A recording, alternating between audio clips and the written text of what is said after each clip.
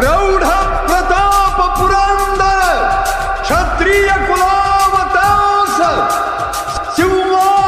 सिंहासनाधीश्वर Maharajadhiraj Ram